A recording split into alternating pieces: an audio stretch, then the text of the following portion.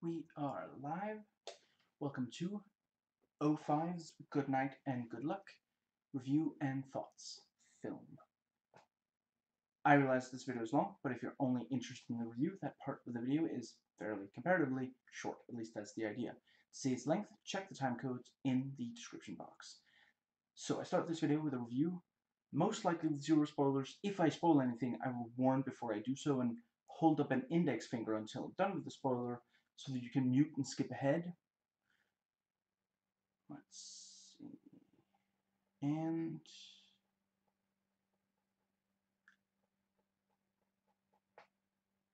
yes, so plot 1953, the Red Scare. During McCarthyism, one brave journalist, broadcast journalist Edward R. Murrow, uses his platform to spread the truth about all the problems with McCarthyism. Now, this isn't really a movie that's mainly about its plot, which is minimal, its characters, which are given little development. It's about the fight that it depicts. I'm a social democrat. Stalin, Mao, and other leaders of communist countries are among the worst monsters of history. I'm not going to be advocating communism in this. I don't currently agree with any version of communism I've heard argued for. There are YouTubers who advocate for uh, communism, and obviously the communism they advocate for is a far cry from Stalin and others. I am going to be arguing against McCarthyism because I realize that saying that you're either in favor of McCarthyism or Stalin is a false dichotomy just for fun, I did a word search. The word McCarthy appears, and this is not an exaggeration, 1,485 times in my notes of, you know, the stuff I wrote to talk about in this and all the, the reviews I copied in. So, if this is something you've never heard of, this is a biography drama history, you know, historical.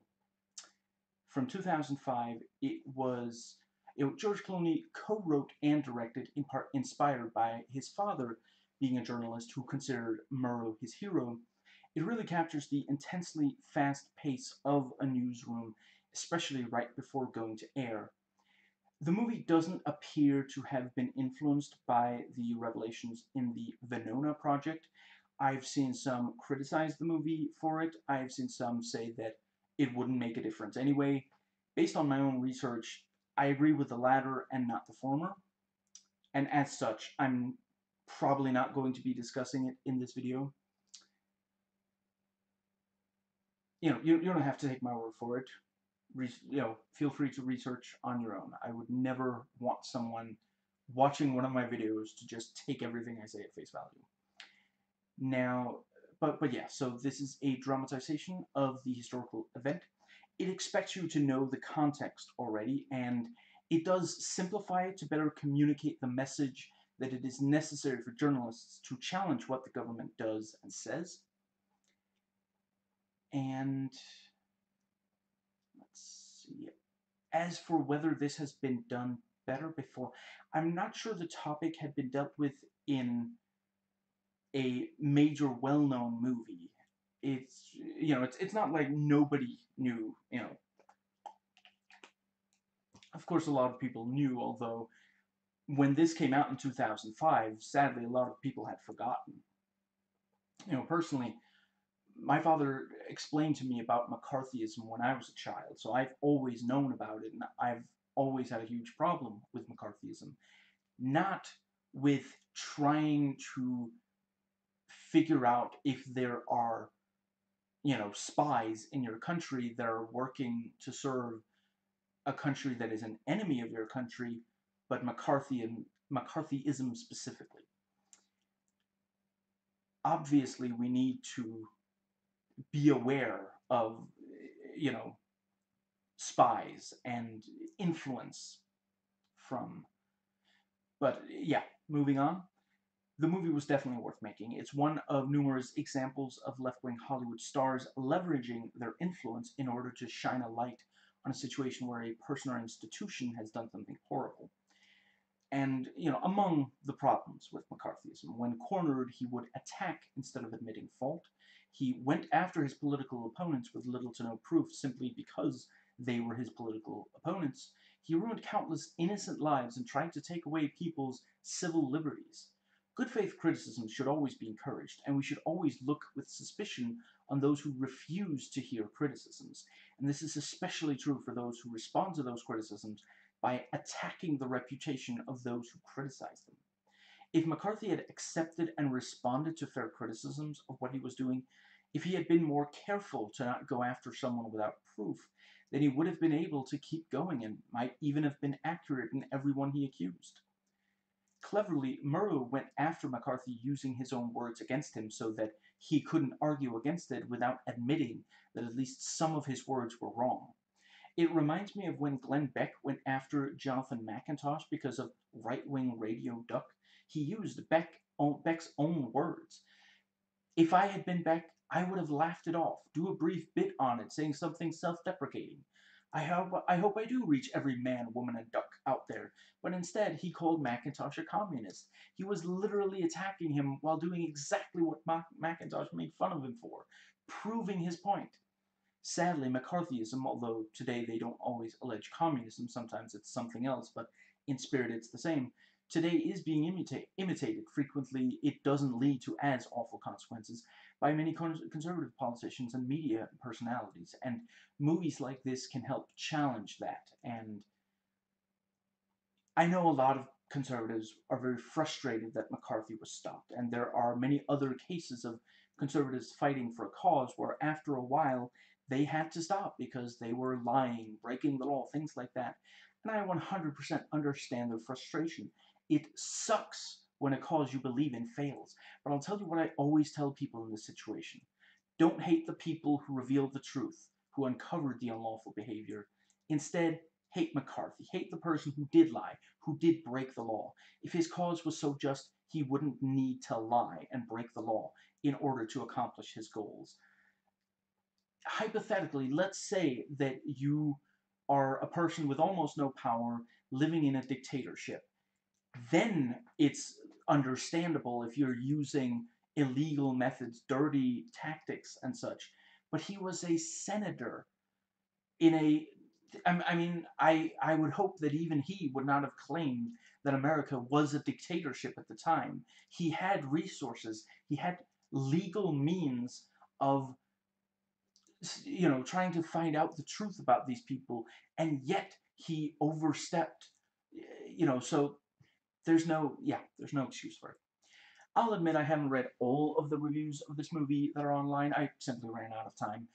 But I will say that I didn't find very many by self-professed conservatives that actually admitted that McCarthy did unethical things. They're much more interested in pointing out that some of the time he was right. I would never claim that there were absolutely no communists in positions of power in the US back in the 1950s, or that McCarthy, himself, you know, and the people working for him didn't find any of them.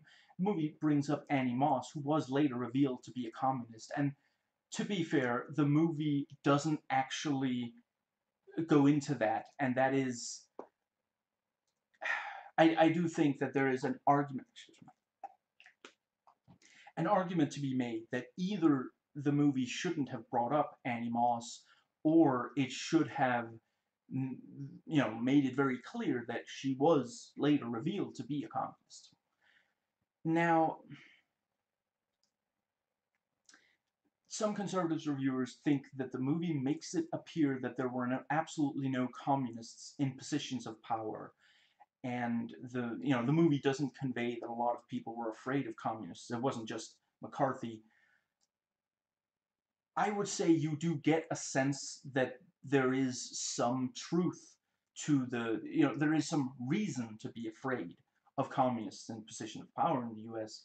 And the movie definitely conveys that a lot of people were afraid of. It's baffling to me, just like it's it's text. It's not even subtext. Murrow specifically says McCarthy did not create this fear. He simply exploited it. It is unbelievable. Well, I wish it was unbelievable. Just how many conservatives watch the movie and then say that the movie makes it seem like McCarthy was the only, you know, like, just, the movie makes it clear. McCarthy took advantage of it, he didn't create the fear. It would be great if the first person we think of when we think of American government people trying to determine who was a communist in the US military and government never accused anyone he didn't like, regardless of how little evidence there might be that they were communists. And because he did, because he started doing unethical things to get the results he wanted, he ruined it for people who would only use ethical means to achieve that goal. Way too many conservatives are entirely too scared hold other conservatives accountable for their mistakes. If the right will not confront the conservatives who make mistakes, then we on the left will do it. And it's going to reveal that you conservatives are unwilling to hold your own accountable entirely too much of the time. Not always, but entirely too much of the time. And if you're willing to lie to protect someone who breaks the law, then why would we trust you? We progressives do hold each other accountable. We hold the left accountable, even the ones we don't agree with. We don't only go after the other side. This is this was also what I was saying before Brett Kavanaugh sadly did become a Supreme Court judge. Conservatives were screaming at these women, especially Christine Blasey Ford, who came forward with these credible accusations. You shouldn't hate the women, they're the survivors. You should hate the person who is credibly accused of victimizing them. If Brett Kavanaugh had agreed to a proper investigation, it would have proved either that he did or that he didn't do it. The fact that he didn't want the investigation suggests that he's afraid that he would be found guilty. I'm there's some chance that he doesn't even remember, but clearly he thought there was a certain chance that he would be found guilty. Despite all the support straight white conservative men get when they are accused of sexual assault and rape, especially if they're also powerful men, we may never know for sure if he did it. If he really hates how badly it reflects on the Republican Party for pushing him for him to still become justice, then he could have quietly turned down the nomination. People wouldn't be talking about it anywhere near as much in that case. And in fact, I and many other progressives, we would be saying, good, that's good. You shouldn't push for someone to get that amount of power who might have sexually assaulted someone. That's absurd. There are things that you can't get away with doing that you shouldn't be able to get away with doing. You cannot possibly argue that they couldn't have found another straight white cis man who would fight to kill the right to abortion although obviously some people felt that made him even more qualified. Because even when he was young, he didn't think that it mattered what women thought should be done to or with their bodies. In some ways, the War on Terror is worse than McCarthyism. It takes almost no evidence at all to put someone in Guantanamo Bay. I suppose I should comment on cancel culture, since many people would argue that cancel culture is the new McCarthyism this is a complex issue. I'm going to try to cover all of it as best I can. Not everyone who is referred to as being canceled actually loses their job, especially long term. A number of comedians have supposedly been canceled, but they're still getting gigs. They still have widely seen shows. It's silly to claim that Dr. Seuss and Mr. Potato Head have been canceled. It's simply that the people who own the rights to them felt that they, in the case of Dr. Seuss, were recognized to be racist, which thankfully is getting to be seen as accept, unacceptable more than it used to be. And in the case of Mr. Potato Head, they felt it would be more inclusive to make the toy gender neutral. Nobody forced them, nobody twisted their arm, nobody sued them. They made the choice. A lot of the people who were supposedly canceled have legitimately done awful things, and it's extremely important that we believe women who come forward with accusations of rape and assault. I do think that there should be consequences when someone's found to have done something wrong, but I do also think it's important to leave room for redemption. Maybe being canceled should mean that you have to take a course in something fitting for what you were canceled for.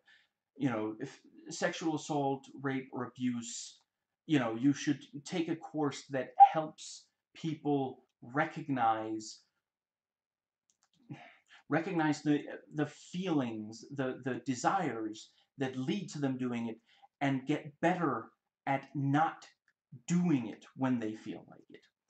And you know, studying how badly it hurts people who are survivors, and then have to spend a certain amount of time trying to talk people who are at risk of doing something like that from doing, you know, talk them out of doing it. And after a certain amount of time, the maybe the person who was canceled should try to make a case for why they are now not going to do that thing again, and the people who canceled them and or as psychiatrists should evaluate them based on them making the case and see if they think that person has learned their lesson. If they fail to convince, maybe you know they have to do another course, maybe one that's longer and more comprehensive, and this cycle could continue until they eventually prove that they've changed. Or I guess maybe after a specific number of times, let's say 10 failed attempts and making their case, maybe that's when they lose their job or the like. And obviously, if they're rich, they have to donate some of the money. If they're powerful, they have to use their powerful position, support the cause that they've worked against. But I do think it is I think some people are capable of changing, and some people could become strong allies of a cause if they legitimately come to see that they were wrong in in the past. And I think redemption is something that should be encouraged and that there should be room for. Ah, excuse me.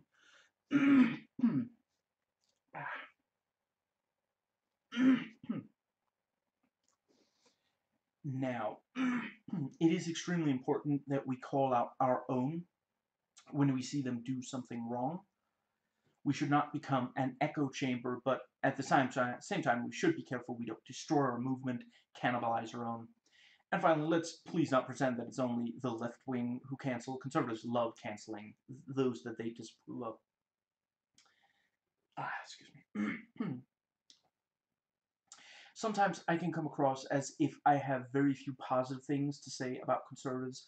I want to try to set the record straight. I don't have a problem with conservatism as an ideology. I have a problem with conservatives who don't have empathy, who lie, who fight dirty.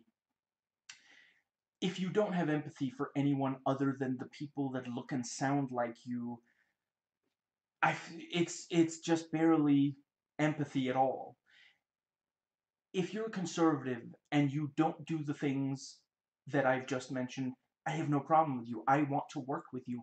I want us to make the world a better place together, but I have no patience for those who lack empathy. So this has, you know, the, the IMDb more like this list compares this to the following movies that I have also seen. Michael Clayton, which I gave an 8 out of 10. Frost Nixon, also 8 out of 10. Confessions of Dangerous Mind, 7 out of 10. And The American, 8 out of 10. Now, I mean, ultimately, I would say, you know, Confessions of a Dangerous Mind, that's the same director, and it's also about TV. Other than that, you know, the one that comes, that has the most, bears the most resemblance to this is Frost Nixon, which I will be doing a video on down the line and I, I would say they're about equally good. They have slightly different strengths.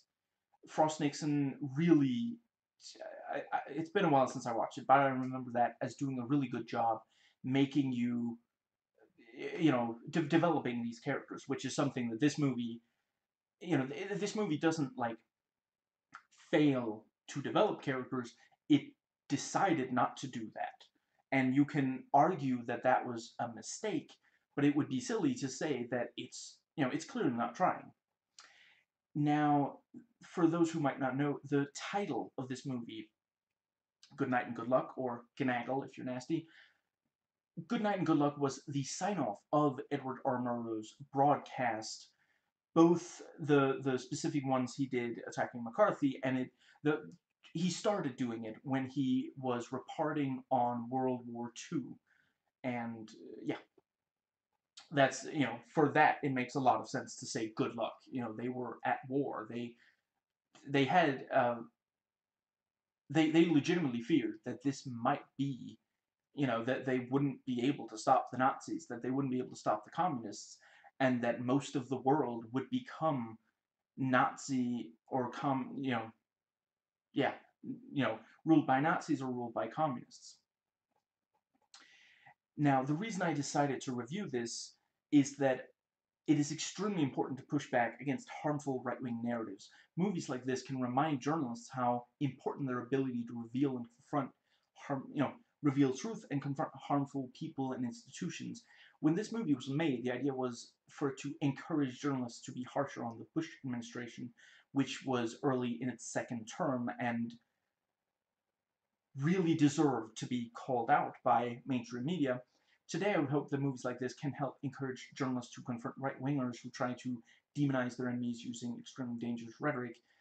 You know, in all three cases, it's we're talking about government overreach, and you know, today the the kinds of things that you hear major right-wing politicians and media personalities say about left-wingers, I mean, I think if you traveled back in time and told George Clooney before he made this movie that someday there would be people in Congress who believe in QAnon, I doubt he would have believed you. You know, it is extremely important to not let these people completely destroy America.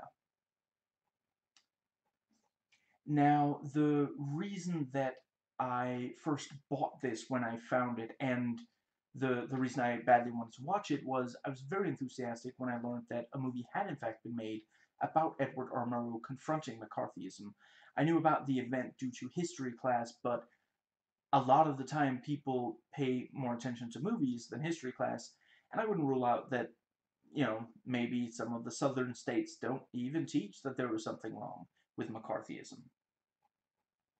I haven't personally seen, I haven't, you know, I have been shown movies in history class, not this specific one, but yeah, I could imagine that, you know, it, there, there are a lot of things about it that make it ideal for that kind of thing. One thing is that you could use it to open up to allow let, let the as as an as an entry point. That's what I mean. As an entry point into discussing the more complex nuances of McCarthyism, which you know the movie does. It, it has a relatively simplified, you know, de depiction of it. But you know, if you if you show a movie with George Clooney to high schoolers, maybe they'll pay more attention when you know when when they when they're when they're told very specific historical things, but you know, it's there, there's there's no sex or violence that you know parents of students might be offended. You showed a movie to their kid that had sex or violence. There's it's it's not really it has a very specific point of view and obviously some people are going to be offended by it but it's not setting out to offend people. Uh, you know, I, I suppose if you still, if you in 2005 or 2021 still think McCarthy was a good guy who was unfairly judged by others, the movie does want to offend you. So yeah, this is a period piece, and it does really well. It's very convincing like if eh, if you traveled back in time and you showed this movie to people in the 50s a chunk of them wouldn't would, would barely realize that it was you know it that it wasn't made back then or maybe that it wasn't just a documentary of events. So the yeah by this point in the video you can already tell that I am approaching this movie from a very left-wing perspective. I'm not sure that I'm necessarily going to make any argument against McCarthyism that the movie doesn't already make, since the movie does such a great job at covering the most important arguments against McCarthyism. If you're open to that and you haven't already watched the movie, definitely watch the movie. I'm not telling you anyone to not keep watching the movie. Yeah, not to not keep watching this movie, but if you're not a left-winger, you're probably not going to like very much of what I'm about to say. If you feel like hate watching, maybe this will be your kind of thing. So this was written by George Clooney and Grant Heslov, and I haven't seen anything else that they've written, but I do think that they really understood how to best make it work, and they, you know, it makes the most of the concept. The, it's it's a very credible movie. Now, I usually talk about plot twists. I'm not sure I would say that there are really plot twists in this movie, even if you don't already know the facts of the actual event. It's not really that hugely surprising. It's it's tense because you you you know, even as you you can you can probably guess a lot of what's going to happen, but you still feel like this, you know, you're you're worried how it's going to work out. I would like to watch more of the movies that George Clooney has directed. I I didn't love Confessions of a Dangerous Mind.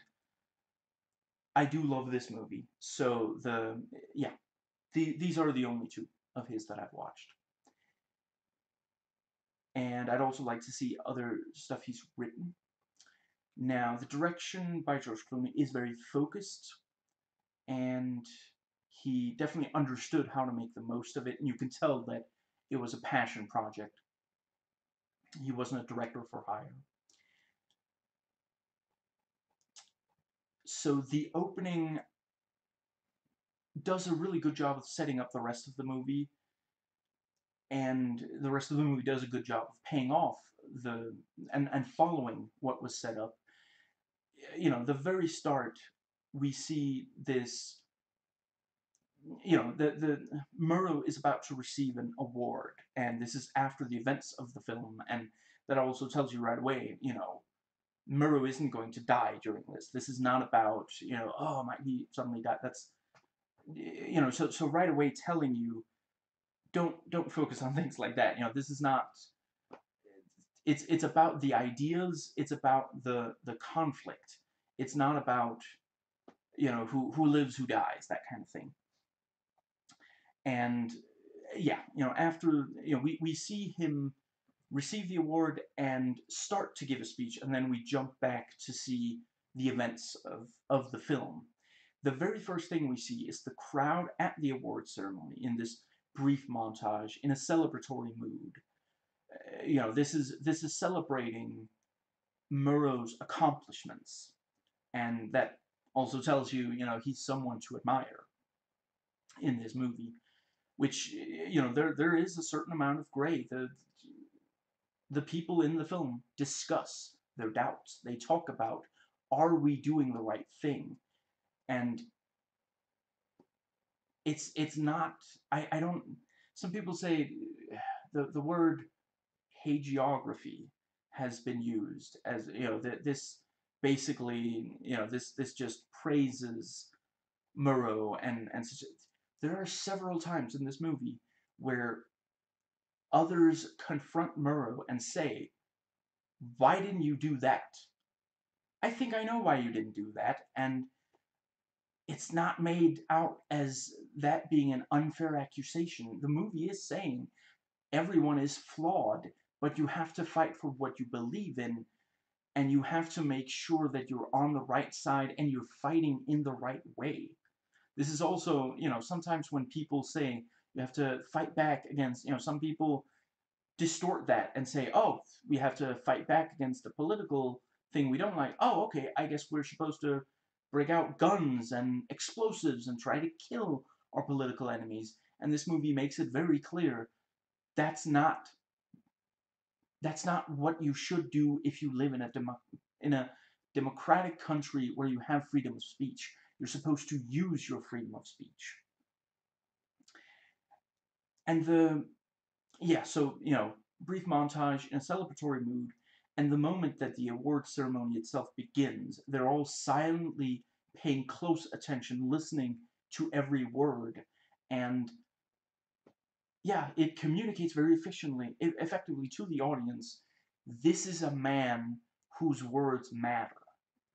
And I feel that the rest of the movie lives up to that promise. I'm not going to give away whether the ending is happy or sad. I will say it does, you know, it fits with what came before. I think it does a really great job. It, you know it addresses the the yeah the the things that it brought up earlier in the movie are addressed in the in, the end of the movie and I mean if there's anything negative to say about the ending it feels like it comes too soon. You know the movie could definitely be longer and some have said it does it's not they didn't feel like it was big enough you know it wasn't and I understand but it would if they tried to make it like this huge climate, you know, like er, not huge, but like if they try to make the climax bigger than it is, it wouldn't really like they would have to make up something that didn't happen. You know, the what the movie shows is what happened. It it wasn't more dramatic than that, and I don't I think it's good to go into the movie knowing that the ending is somewhat it's it's not like big, it's relatively subtle. I mean, in some ways, the the the ending of the movie also does have a message, but and and you know, I I can understand people who say it's preachy. I suppose, yeah, pro- probably preachy, but it was something that really needed to be said at the time, and it's disheartening that it didn't lead to much more of a you know it, it got really positive reviews but beyond that you know it didn't really yeah. Now the movie does not lose your interest along the way the movie does feel like a tribute to Edward R. Murrow. You really get a sense that the people making this have tremendous respect for him, and they make a really good case for having a lot of respect for him.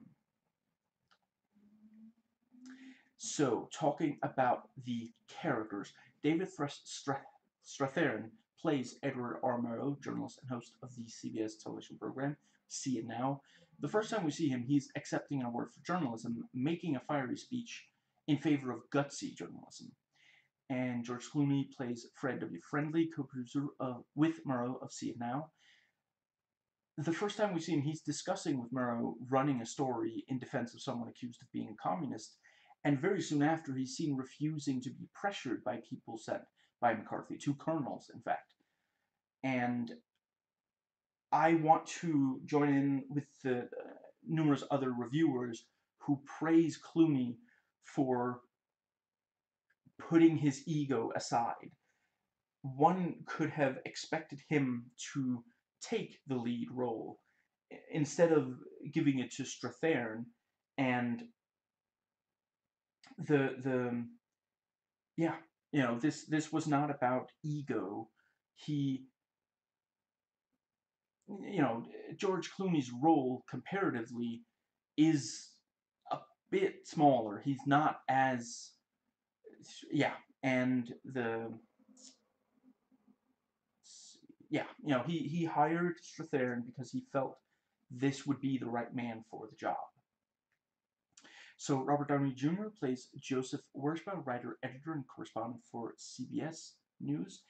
He's, you know, it's a bit of a calmer performance than some of his 80s and 90s roles, and you know, today we really think of RDJ as Tony Stark. I appreciate that in this performance, in this movie, his performance is completely different. It wouldn't work for this movie at all. And Patricia Clarkson as Shirley Wershba, she's also really good. And Frank Langella as William Paley, chief executive of CBS. He's torn between letting Murrow report the truth and the consequences of them telling the truth. You know, something that back then the the sponsors like if, if the sponsors didn't like the way you were reporting the news, they could just pull back out and not give you money and you'd be you know you'd be in a really bad situation so that's something that yeah, the, the movie confronts. Jeff Daniels, I liked him when he was funny. I'm really glad that he has since taken more serious roles. He is really compelling in serious roles. And Ray Wise as Don Hollenbeck, journalist for CBS News, accused in the press of being a pinko. You can really tell how it really wears him down that he's been accused. And yeah, you know, others have said it's it's heartbreaking. His yeah. And yeah, you know, this I let's see. Yeah, and Joseph McCarthy plays himself in archival footage. It's very well integrated. If you didn't know that's what you're looking at, like if you watch this movie having no idea there was going to be archival footage, you might not be able to tell, and you might be surprised by just how much archival footage the movie actually shows. Now, see. So the yeah, so the the dialogue is sardonic, clever, at times somewhat similar to like British verbal wit comedy, and there's some Aaron Sorkin going on as well. To lighten the mood and release some tension, every so often people will joke about either themselves or the person they're talking to secretly being a communist. And at several points, characters will make small talk, and after engaging in that briefly, they will say something extremely important, making clear that the small talk was basically supposed to be a buffer. It was supposed to ease them in to the painful statement. That it really, like, there are a lot of painful realizations here. It, it really does show people were terrified during the the Cold War. And again, the movie makes it very clear it's not McCarthy creating this fear. He does take advantage of that fear, but even these, you know, the the movie, the journalists are very careful to not just like randomly accuse anyone. You know, it confronts McCarthy with like there are things he himself had said that he's since gone against. And so they confront him with that. And that's where, if McCarthy, if he did in fact have some decency and shame, he would have admitted, I made a mistake. And, and just, but he was too proud some of the characters you'll see, you know, you'll see them in relaxed situations. You'll see them worried that McCarthy is going to destroy their life. So, you know, you get a sense that they're not like always in this one mode. So the cinematography was handled by Robert Elswith, Elswit, and yeah, he definitely understood how to handle it. It's filmed almost as though the film was actually made during McCarthyisms. The lenses, the ca- the kind of camera moves used, and there's some. I'm not sure if it is handheld, but it feels as as fluid as that, and some stark high contrast, black and white photography. Some of the scenes with a lot of shadow between the you know, yeah, if, if there's a lot of sorry chatter between newsmen, the camera will pan very quickly as if it's trying to see. I'm able to admit when I made a mistake. Sorry. Yeah, the as if it's if it's trying to keep up with who just started speaking, when in reality, of course, it was carefully rehearsed, and even if there was some ad libbing, they could have simply done another take. But it's very effective in putting you right there, as if you yourself are trying to keep up with the chatter and it makes great use of the like I, forget exactly what it's called, but uh, rack focus maybe that you know you can keep certain things out of focus, communicating, for example, that the people who are in focus are not thinking about what isn't in focus, even though it's close to them physically. You know, they're sharing space with it. Now, the editing is by Stephen Mirrione, and yeah, the editor definitely also got it. It's very subtle but effective. It's not drawing attention to itself. I saw one reviewer criticize that sometimes the movie will show the journalists watching a clip and then that clip being aired. I understand why they felt this was repetitive, but I find that the tension is increasing as we see the footage. There's a huge difference between considering airing a clip and actually airing it. Again, this was, you know, there were livelihoods at stake. And I'm not sure there is a single special effect in the movie, and if, if there is, if if there are any, they're incredibly well hidden, and that's really good because it would distract from the story. And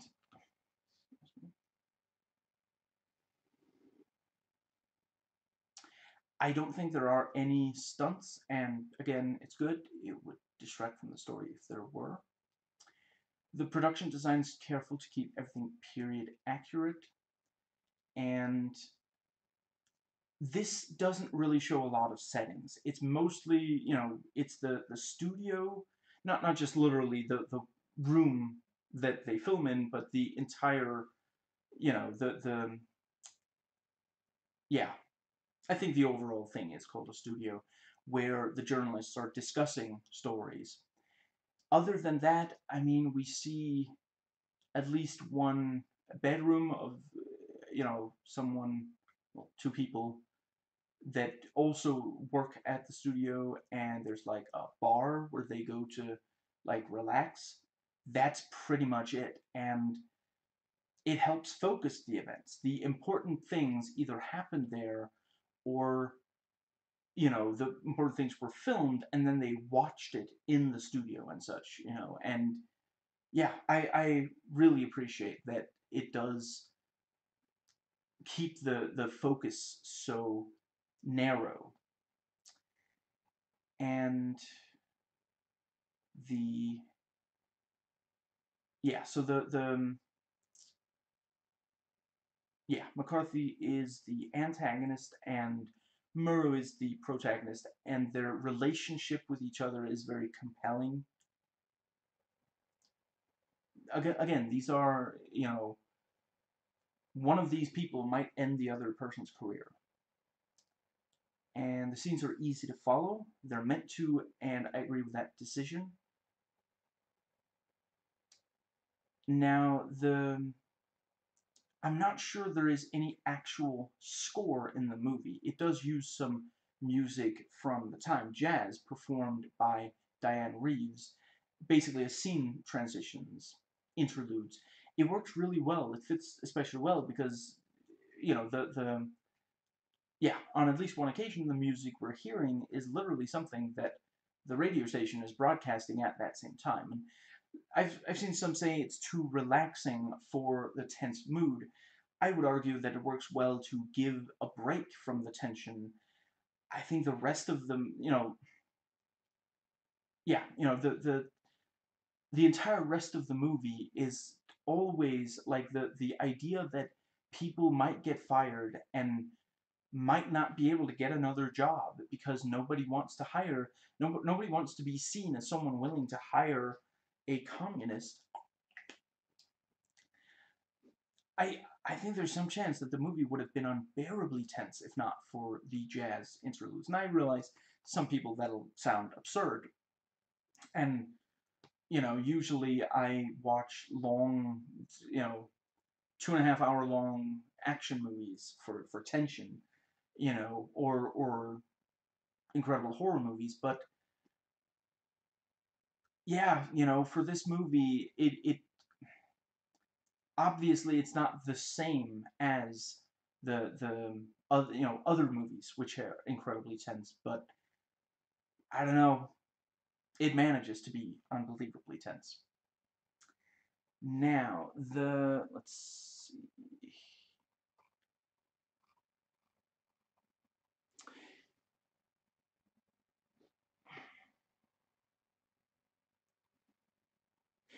So the yeah the humor can be this kind of deadpan sardonic kind of thing and sometimes we laugh with characters sometimes we laugh at them. There yeah so as i already mentioned there's no violence no gore no sexual material. I mean is there maybe a tiny bit of like like mild to moderate language maybe i think that's the the most you can say. And uh, also for those bothered by smoking in movies there's a lot of it in this. It's it's very period accurate. And yeah the level of realism is very high. You don't really need to suspend disbelief to enjoy it. The laws of physics apply. There are few to no contrivances. And yeah, it very much feels like it's the real world. The the pacing is very smooth. By some standards, it's slow. I would say slow in a good way. By other standards, it's very tense and moving moving quite fast for how much and how dramatic it is and yeah, you know, maybe in some ways it's like maybe if the movie came out in the 1970s or something, you know, a political. Ah, let's see. I was about to say political thriller, but I guess even that is overstating things. Like a political drama from the 1970s. And that, I mean, sometimes it works really well when movies that are made in modern times are set, you know, decades back, and they make the movie very similar to other movies from, you know, the, the its contemporaries. But with this, I mean, yeah, like you know, as I mentioned earlier, in some ways, it kind of feels like the movie the movie comes across as if had it been made back then it wouldn't have been very different from the way it is. I would disagree with those who say the movie is padded. Some said that the music music interludes are padding. As I already mentioned, I, I feel that they're just they're necessary. And it's not it's not really that the movie is taking a break, it's just, you know, there's less like the plot doesn't move as much you know, during the interludes we get we get a breather, but other times it moves very, very fast. And yeah. The movie is 89 minutes long and it's well worth the investment of time. If you're not interested 30 minutes in, the movie probably isn't your kind of thing. And yeah, and as for, you know, whether or not this is offensive, you know, there are conservatives who have a hard time admitting that McCarthy was wrong. Other than that, I'm not sure that it would really be offensive to anyone. And the best element of the movie is seeing Edward Murrow confronting McCarthy, standing up for civil liberties. Now, I try very hard to come up with something negative to say about even movies I love. I realize there was only so much they could do. The movie really does not have a lot of diversity. It's almost all straight white cis men. There's like four women, and one of them is black. They're not treated with a lot of respect from the characters or the movie. The black woman is just there to sing jazz, and, you know, kind of makes me think about how a while back black people were not allowed in certain establishments unless they were performing music. That was the only way that they would be. Yeah, so that's. And again, I realize it, it would be difficult to change that significantly, but it, it is a little uncomfortable.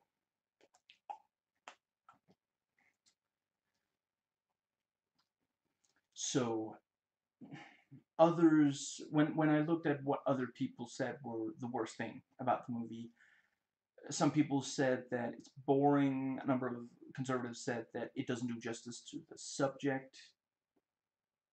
In their opinion, I I read dozens of reviews of this, maybe a good.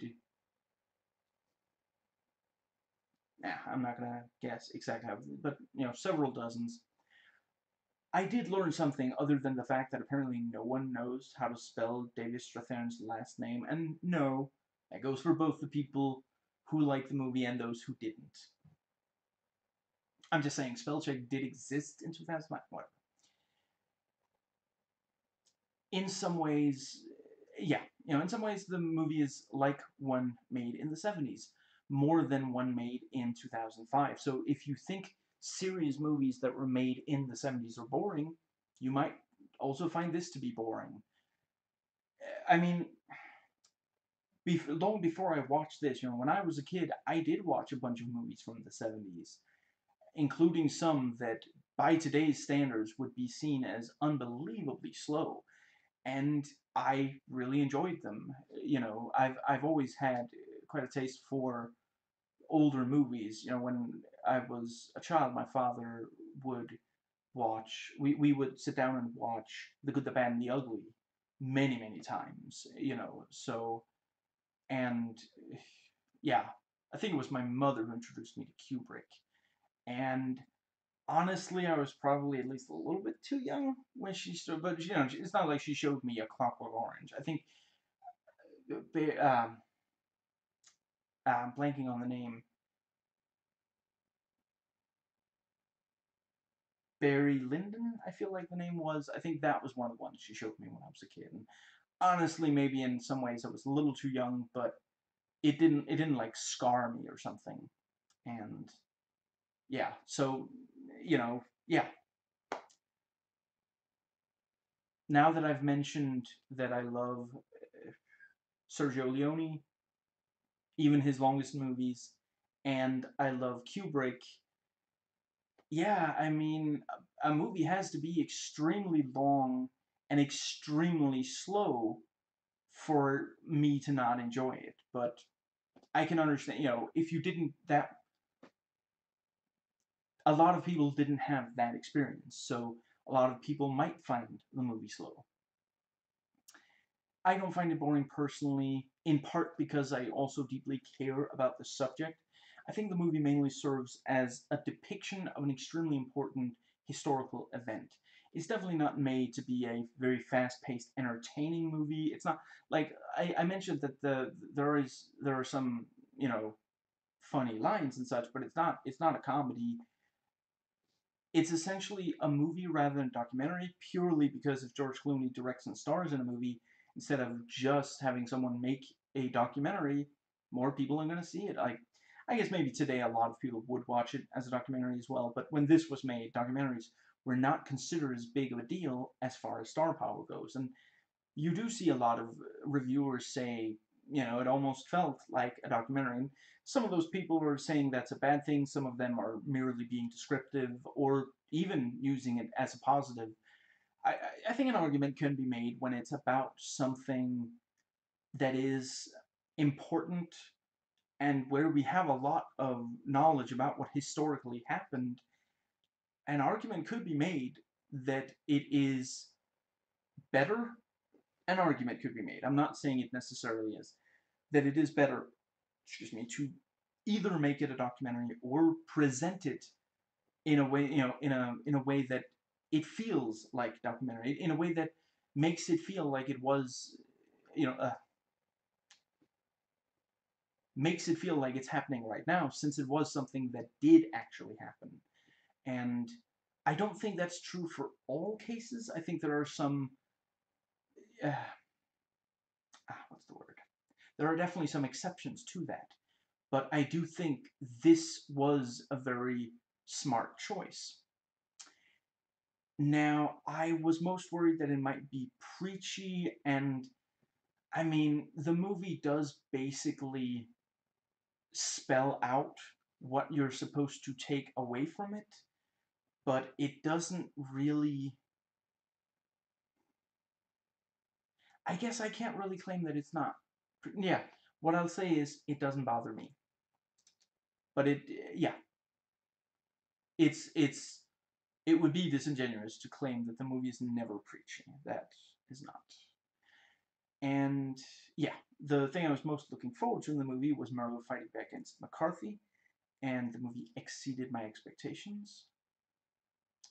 And yeah, the a lot of very talented people worked on this, so you may want to seek out other work of theirs. And yeah, recently in these reviews, I try to go into whether the movie is entertaining to watch or not. And for me, extremely. I guess for people who don't care as deeply and who are less okay with a pace that by 2005 standards is slow, I would go with reasonably.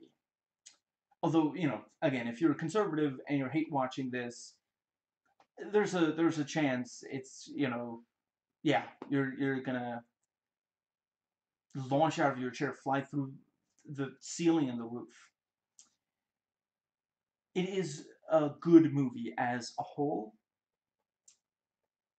The trailer does not give too much away, and it does give you a good idea of what the movie is like. If you like the trailer, you might also like the movie, and if you don't like the trailer, you might not like the movie either. The cover and posters don't give away too much, and they do give a pretty good idea of what the movie is like. So if you like the cover and or poster, you might like the movie. If not, you might not. The movie does not really have a lot of metaphors, difficult to understand elements you don't need to watch it more than once to pick up on everything that happens. If you do watch it multiple times, you might pick up on little little little details that yeah, that, that you didn't the first time, but it's it's definitely well worth watching more than once. I want to make that clear. But it's not something where you need to watch it more than once to understand. And you know, that is actually, yeah, hypothetically, if you watch this once and you feel like you didn't there were things about it that you didn't know enough context to completely understand while watching the movie. If you go and like you know read some wikipedia or something and then watch the movie again you might uh, appreciate it a lot more. Now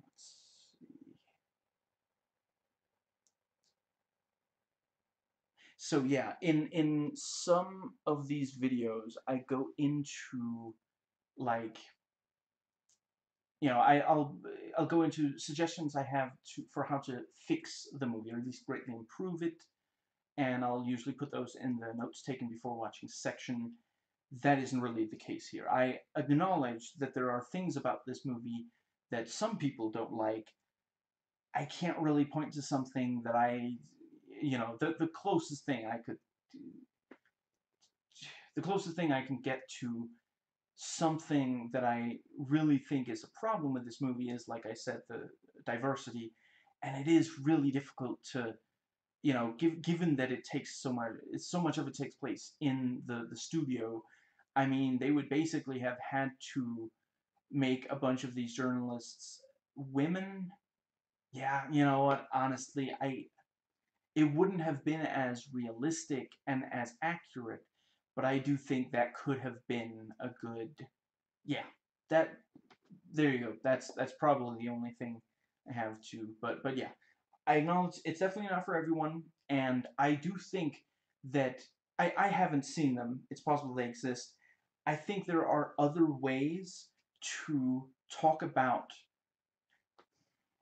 I guess, I'm not sure you necessarily need a different movie about Murrow versus McCarthy, but you could make other movies about McCarthyism, and they could, you know, they could have a lot of different um, settings. They could maybe show, you know, some some people said that they wish the movie had shown how bad things were in the 1950s in the Soviet Union, for example, and I agree that is something we should never, ever forget. But I don't think it would have fit in this movie. I, I think it would make. I, I would like a movie that showed how bad things were in communist countries and showed you know yeah showed showed americans imagining things getting as bad in america and like you could have someone wake up from a nightmare where they suddenly find themselves in a communist country you know i I do disagree with those who say that the movie does make it seem like there wasn't a reason to be afraid during the Cold War, afraid of communism. But I do think that you could make a movie that dives deeper into that fear. The the way it is in this movie, you can always tell that there is that fear, but most of the people you see talk about it are journalists, and they tend to be talking about it in direct relation to whether or not they should be trying to fight McCarthy. And that is a bit, obviously, that is a bit of a difference from regular people looking to McCarthy and thinking that he's fighting the good fight. You know, so yeah, I, I would like to see others. If, if you know any, please put them in the comments. This has 93 on the tomato meter, and yeah, you know, I I I do agree with that. I would say, you know, some some people said, you know, well, movie critics love movies that feel like like classic movies and they love movies that are about you know the the medium of of film you know the it it is a movie about television so you know maybe the maybe some of the reviewers were like oh man i love television. I spent years studying television in in college you know oh man they they made a movie about television and it likes television and it's uh you know it it's it says that television can be a great thing. I think if if not for that, if you asked people who didn't really care about television, it might not have 93 out of 100 on the tomato meter, but it is also a really good movie. Now the meta on Metacritic, the critic rating is 80 out of 100, and the user rating is 7.3 out of 10. So yeah, you see that you know the and and on IMDb it has 7.4 out of 10 so the critics liked it more than the than, than audiences did. And yeah the MPA age rating is PG and I think that is yeah it, it wouldn't really make a lot of sense. I mean basically the only way it gets a, a you know a more restrictive rating than that is if you consider the the cigarette smoking as a bad and you know there's an argument to be made. Cigarette smoking is something that is very easy for impressionable young people to imitate. But you know evidently the the you know the MPA didn't think it was that big of a deal or they would have definitely given it a higher rating. They're not usually they don't tend to mind giving high ratings to so, yeah. And some people say that this movie gives you so little insight that you may as well just read Wikipedia, you know, about the, you know, and, and for sure, if you want more information, the, you know, there, there is, there, there, there's information that this movie doesn't have on Wikipedia that's very relevant to McCarthyism. But I would definitely say that you get more out of watching the movie than just reading Wikipedia about it. But it's a good idea to do both. And I don't think that, you know, when, when George Clooney wrote and co-wrote and directed this movie, I don't think he was trying to lure people away from Wikipedia. You know, he, I, I really do. I think of the movie as an entrance. It's it's your introduction to this kind of thing. You know, it's it's not supposed to be the whole thing. I recommend this to people who don't already know what happened in real life that the movie dramatizes and you know the the eh, yeah if if you don't already know the very many of the details. I recommend watching the movie before, eh, you know, unless I mean, I mean, yeah, you should you should know before watching the movie that it does, you know, it doesn't give all of the information. So if that's going to color your interpretation of it, read before watching the movie. But yeah, you know, if you're passionate about journalism and ab- about finding the right way to combat dictatorships, then I think you will like the movie. And I give this eight journalists fighting politicians out of ten. And that brings us to the start of the thoughts section. So from here on out, there the spoilers for this movie without warning. I will warn if I spoil anything other than this movie. So, disclaimers. If you don't care about these disclaimers, I try to keep them short and long, but your mileage may vary. You can skip right ahead to the section of your choice in the description box. I often try to talk very fast during the disclaimers, since a lot of it is very standard information. I'm not keep speaking as fast as sometimes do during this section once I get into the video itself. With that said, please do note that some of the specific discussion of the movie may be in this section. I realize this video is long. I'm going to do what I can to make it worth your time. So, let's see. Yeah, so this video is not very visual. It's not going to contain any clips of any kind. The most visual it gets is when I sometimes act something out, so feel free to watch something visual, such as clips from the movie in another tab. Since we are still dealing with Corona, I want to say during this video, it's possible I will touch my face. I actually already did, yeah. So I want to say, it, I want to assure you, I washed my hands carefully since the last time I was outside, and I will wash my hands carefully again before going out. So, let's see. I really appreciate that this movie is in black and white. And, you know, part of it was that, you know, well, if we have to, like, colorize all of the archival footage, you know, so they made that decision, but it really works for the movie.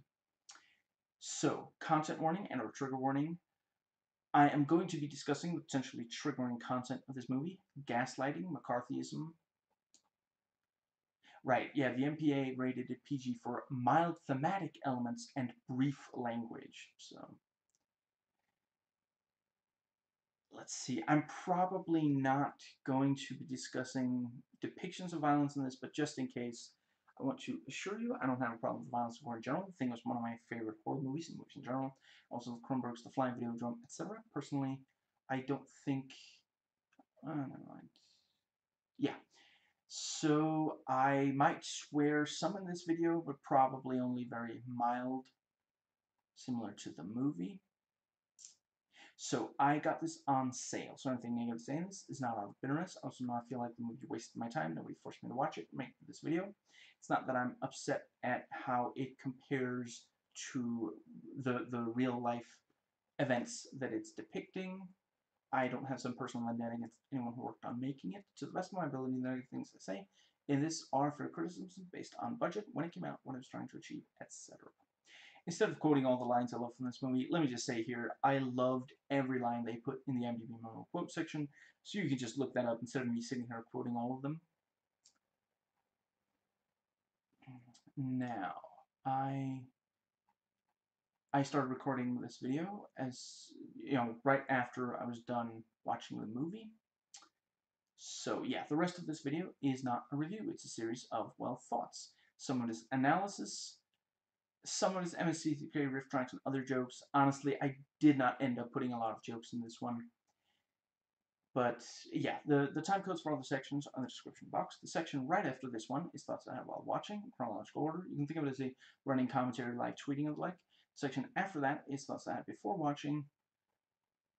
And the final section is uh, I get into stuff I think it's worthwhile to get into on Rotten Tomatoes, Metacritic, IMDb, and Wikipedia. I am, let's see. Yeah, the movie does not appear to have a lot of empathy for the least likable characters, such as McCarthy, and I think that is appropriate. They gave him a chance. You know, they they they pointed out how he's going against other he's you know in some cases he's going against things he said at other times if he had just said mea culpa nobody's perfect i'll try to do better from now on i'll tone it down i'll try to get my facts straight before attacking people and yeah, so I watched this. I definitely watched this in the year 2010. I may have watched it earlier. And let's see. Yeah, so in total, I've watched this three times, including right before I started recording.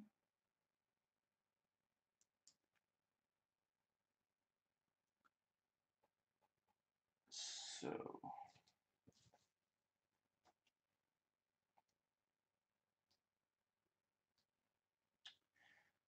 once it's only Fred and Murrow in the room discussing Milo, you do immediately get, you know, you, you can tell that the treatment of Milo is really unfair.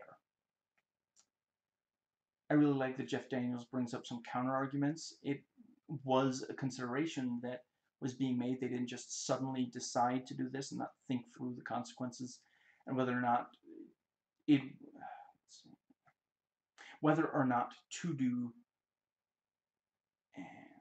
you know, and one of them brings up everyone's already covering the other side and that they have been offered time to make their case in response to the story. And that's, see, that's where really, like, they immediately, they're like, you know, th this, McCarthy is a senator, he has this, he has all this power, and just him saying a name can ruin that person's life.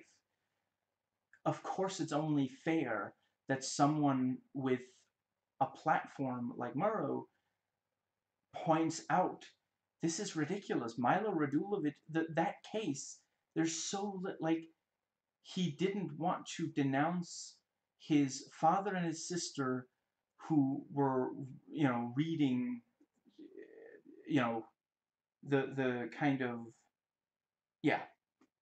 And and yeah it's it's completely absurd. And the fact that Murrow you know pointed out how little of a of a trial there was yeah you know it's it's not like they're yeah you know I, I saw someone pointing out you know the the movie basically depicts Murrow as David slaying the Goliath of McCarthy, and you know, some some have pointed out it wasn't, you know, he wasn't the first journalist to criticize, and there were a number of other people who already did have problems. And again, I do, I mean, the the start of the movie does say few journalists dared to criticize him. So it is acknowledging that Murrow wasn't the first. You know, it's I don't know. I guess to be fair, the the thing that other people, the people who criticize how much the movie simplifies it, would maybe have preferred us knowing, you know, be, being told in the movie what those other journalists criticizing him were. And I can understand that. And then, yeah, maybe it would make a lot of sense to do like a really long, extremely detailed like from the very start of McCarthyism to the very end of it, just let's go through every single thing that you know that that was important and make like an eight-hour miniseries. I'll watch it, and you know that will definitely, yeah. But I'm not upset with this movie for not being something it was never supposed to be it's a good detail that Fred Friendly is sitting so close to Edward that he can tap his uh, what's it called his knee to signal that he's live. It's really powerful when Murrow points out all the people who are not allowed to see the contents of the manila envelope and thus is almost impossible to defend against the charges. I completely agree with those who say that Murrow definitely couldn't stand doing the fluff interview bits. I had completely forgotten that Robert Knepper, you know, Teabag from Prison Break, was the one who handed handed RDJ the documents, and that you know, yeah, because because this was right around that same time. That show started in like 2004, I think. So and when I, yeah, all three times I watched this, I recognized him, and you know, both after the first and the second time, I had forgotten. And like RDJ says, we immediately know that it's preposterous that Murrow is a communist. I really appreciate that Murrow and Paley discuss whether Murrow is handling it right. It's not that Paley can't imagine McCarthy is wrong about some of the people he accuses, but he doesn't believe that reporters should handle it. He thinks that the government will take care of government people stepping out of line. You know, he's, uh, let's see, I think he says that the Senate will censure him, you know, and I mean, I think that is, I mean, ultimately the movie agrees with Murrow, and I don't know if Paley did say, if, if the real life Paley did say this, but the movie is raising that issue and basically saying, no, we can't. As sad as that is to say out loud, we can't trust the American government to hold itself accountable. We couldn't in 1950, in the 1950s, we couldn't in the mid 2000s, we can't in the year 2021. It is extremely important that people with a platform use that platform to criticize when the government is doing something wrong. I really like the discussion about if anyone in the room has ever had anything to do with communists. One of them literally points out, well, you know, yeah, I mean, what was it? My my ex-wife, I didn't even find out until the divorce. Back then, we were, they were our allies, you know. So what would be, you know, it's it's insane to punish someone for something that you, I mean, if you had like like back then there were prob- probably people pushing eh, you know communist ideas on like like saying that that you you know you you can't be too disrespectful of eh, you know our our you know our, our fellow soldiers out there. You know they're extremely important to stopping the nazis you know and then you know world war ii ends and immediately everything that has to do with communism is now seen as awful, even if you only looked into it back when they were allies. You know, it's it's it's like thought crime. It's it's absurd. You can't punish people for doing something that was legal when they did it. That's and one of them brings up whether they read the book and you know if whether they're actually sure that the book is not subversive. And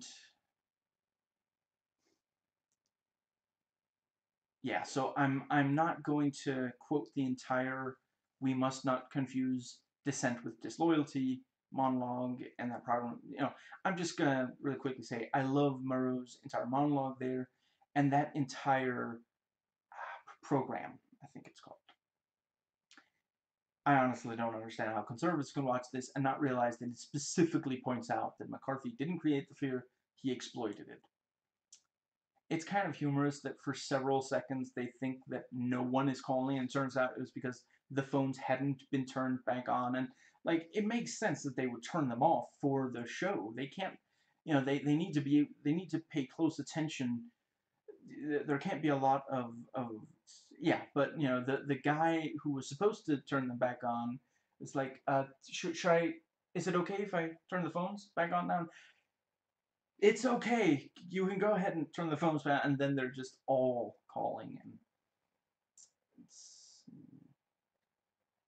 Maybe it's because I know that later in the movie he commits suicide, but when Ed Holland says on the air that he wants to back up Murrow, it's really moving. And actually, yeah, he's specifically criticized for that. And Paley sits perfectly still as his phone rings. It's clear he's not going to like the conversation, and it does have consequences. They literally ask the one woman present to go buy the paper instead of one of the men doing it. As they wait for her to return with the paper, the tension really grows.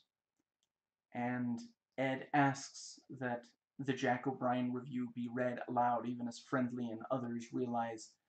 Uh, I think Murrow's one of them realized that's probably a bad idea, and Shirley claims she read the whole thing, and Ed you know, impl- implores her to finish reading, and yeah, it's it's really you know painful to it's it's yeah. I saw at least one conservative reviewer really try to underline it wasn't McCarthy who wrote those columns, as if the movie for one single solitary second suggests that it was. They say it's Jack O'Brian multiple times. The movie doesn't depict them taking down Jack O'Brian, it does depict them taking down McCarthy, just because it depicts negative things done by someone other than McCarthy doesn't mean that it's saying McCarthy was responsible for them.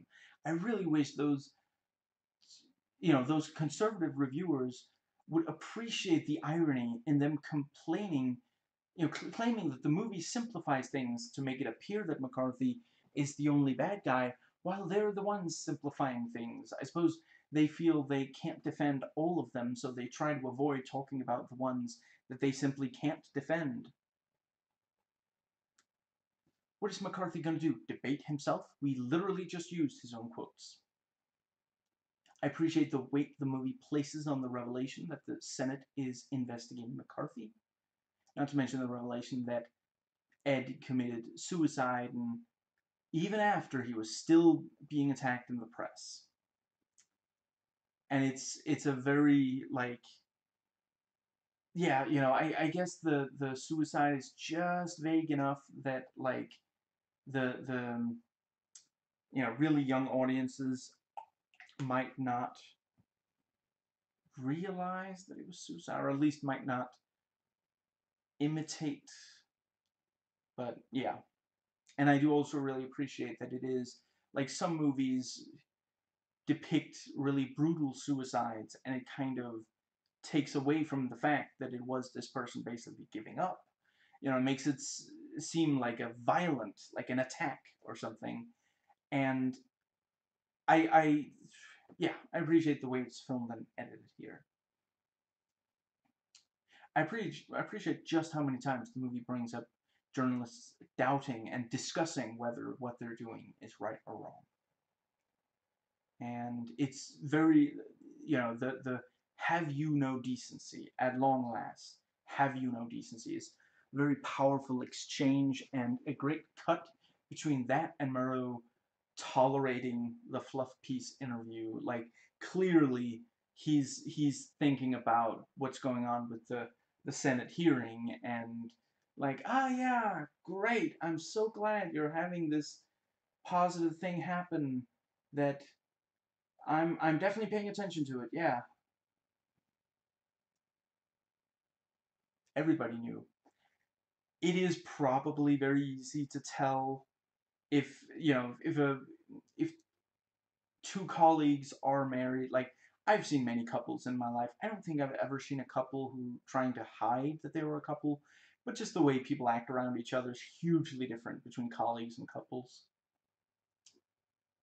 And Paley confronts Murrow that he didn't want to defend a known communist, I like there at the end we don't actually see the reaction of the people who listen to Murrow's speech now that they've heard the entire speech. And it is this thing of like, you know, the speech is almost more for the audience. You know, it's uh, the fact that it doesn't show the audience, the, the movie, the in movie, in universe audience reacting is because it doesn't want to tell the the people watching the movie what to think about what he said. You know, they wanted to like land and to to ruminate. Very downbeat ending. They may have won the battle, but it's possible they lost the war. You know, and yeah, 16 years after the movie came out, sadly, I would say an argument could be made that they did lose the war. The movie didn't really inspire journalists to be critical of the government when the government is shutting down discussion of what they're doing by, you know, calling people who criticize them traitors. Now, the, yeah, so without end credits, the movie is an hour and 24 and a half minutes long. And it's 29 minutes with end credits. So let's see, notes taken before watching.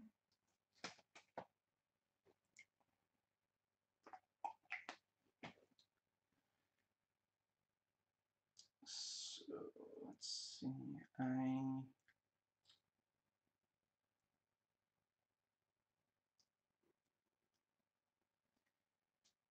Hmm. Yeah, I am skimming through. Okay, here we go. I am aware that the story presented in the movie is not the whole story. Murrow was not the first person to challenge McCarthy. McCarthy was just the most public image of McCarthyism, but he was far from the only person fighting that fight. I think these details would have hurt the movie with their inclusion. First and foremost, the movie is trying to compel the news media to hold those in power accountable. That's why the limit they limited the movie the way did, they that they did. It's kind of funny how many conservatives write in their reviews that you know of this movie that it rep, that it misrepresents McCarthy himself when literally every single clip of him is of the actual McCarthy. I most you would claim that they didn't show the parts of the clips that make him look good, but considering that what they, you know, considering what they do show, there's nothing you could possibly have said that would prevent him from looking bad. And, you know, the film barely makes any claims about McCarthy himself. All it says is he attacked some of his political enemies by claiming they were communists and abusing his considerable political power to go after them, and that when that was pointed out by a journalist, it led him it, it led to him going after that journalist too, even though as the journalist pointed out in the movie, they only used his own words.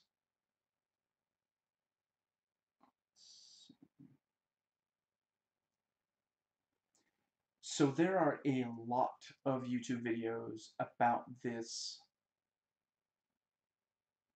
I, let's see, I don't have that much to say. I'm just briefly going to say. Um,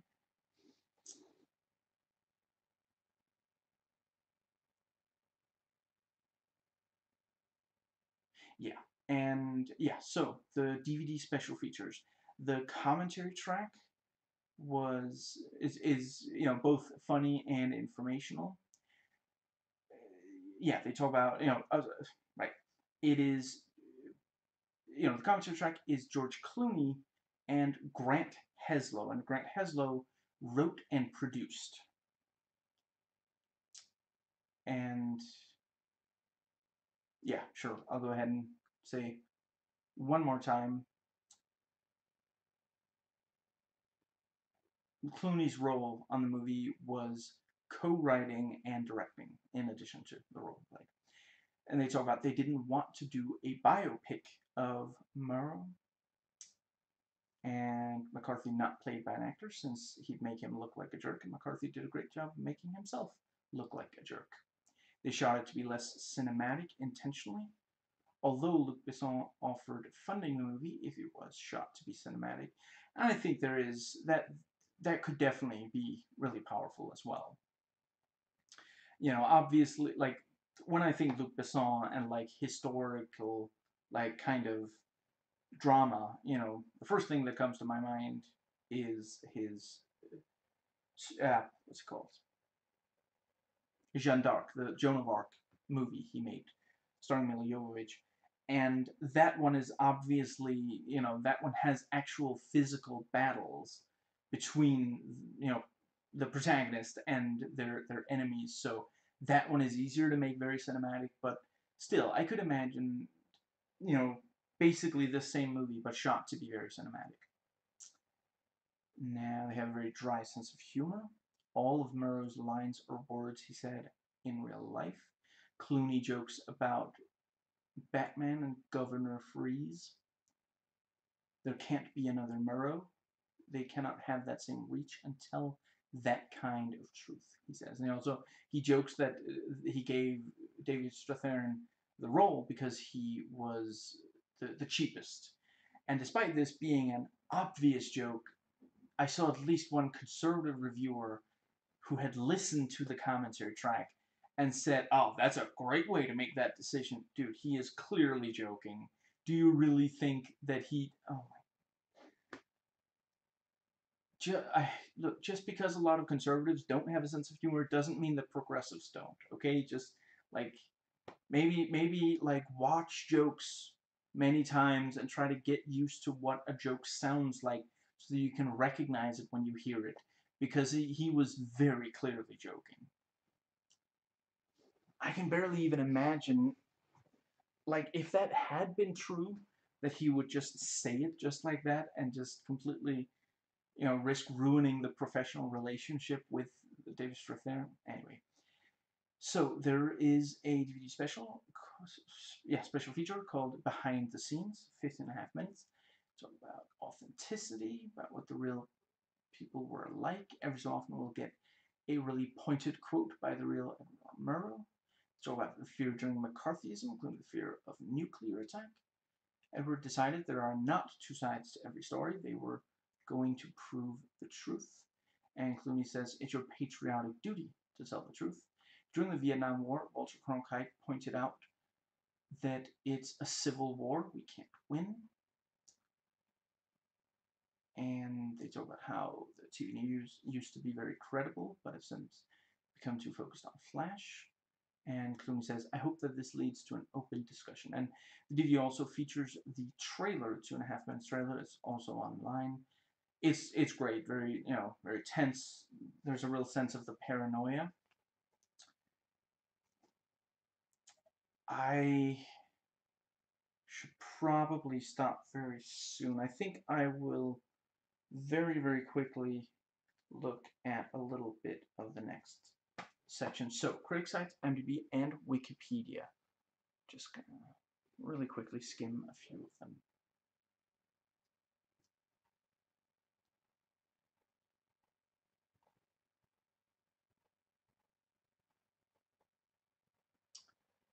Now,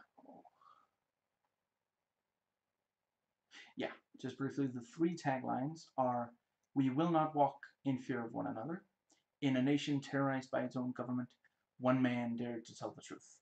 They took on the government with nothing but the truth.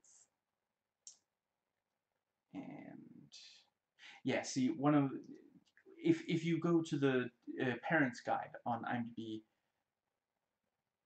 excuse me, under frightening and intense scenes, excuse me.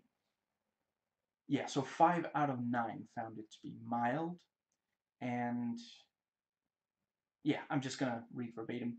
The character Senator McCarthy is scary when he rants. The film is intense, and the tension during the film builds up to a crescendo. And yeah, that's exactly how I would put it myself. And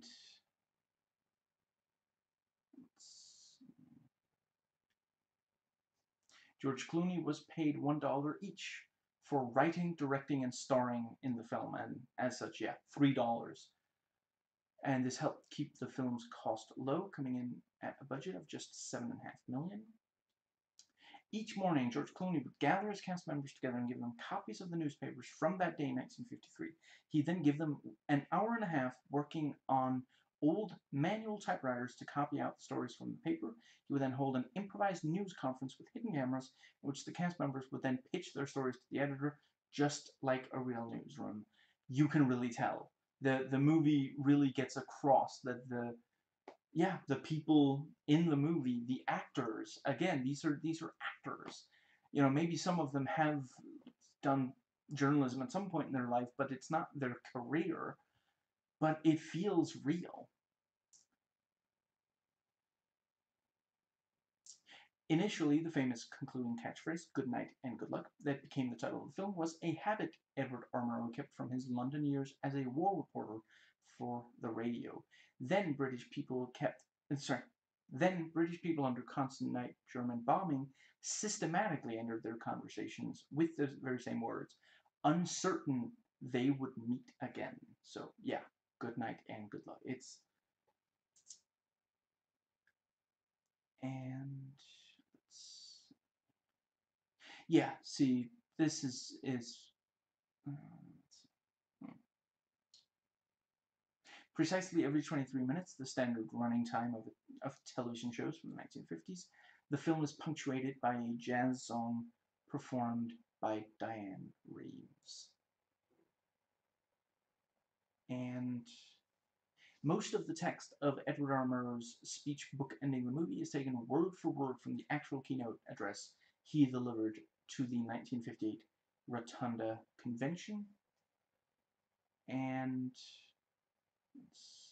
yeah, and and the IMDb trivia has a little more of the words there. So I think I will conclude this with briefly noting that IMDb has 545 user reviews, and I also noted how many you could find. So, yeah, reviews you could find by going to the movie's IMDb external reviews section.